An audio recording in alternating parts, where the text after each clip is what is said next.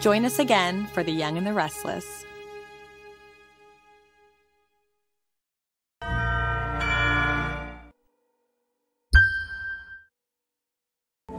The following program is available in described video.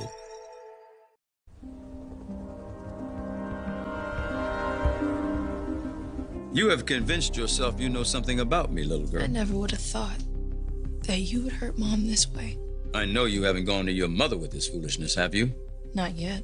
Because it's easy to accuse a man of wrongdoing. And a woman will always believe another woman before she'll. Sasha is my sister, your daughter. Sasha is a liar. She stole your boyfriend.